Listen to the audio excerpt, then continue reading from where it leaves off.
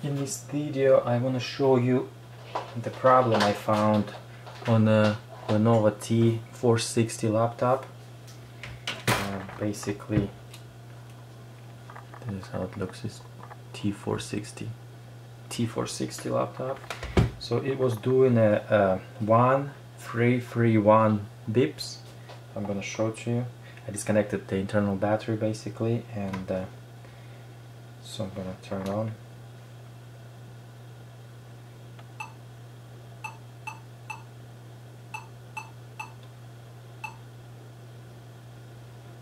So and then it just turns off. I'm gonna show you that there's nothing shows showing up on the screen once again.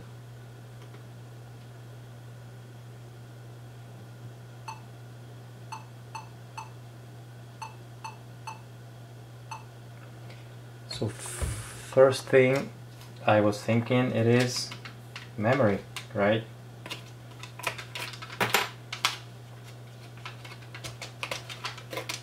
swapping it for a good known same type. That's a PC3 low voltage uh, 12800S memory. So uh, I'm swapping it.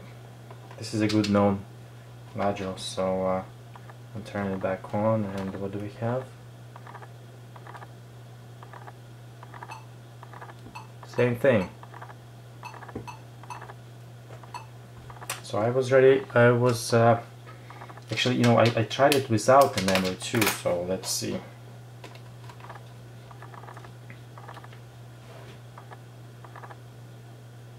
Same thing.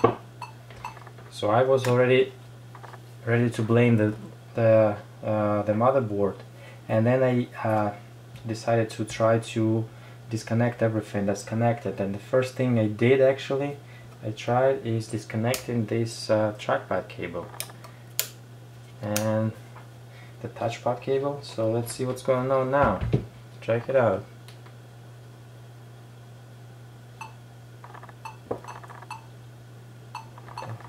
Oops my bad. I forgot to put the memory back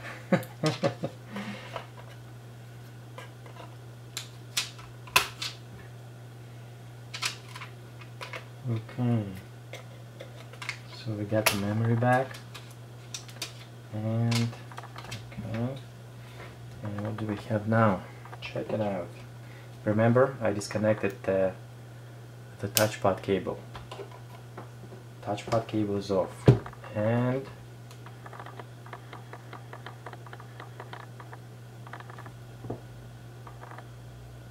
isn't it awesome? So that's the that's the problem. Yeah, just showing that there's uh, no mouse connected, but that's that's the problem basically. I have to replace that. I already checked that cable.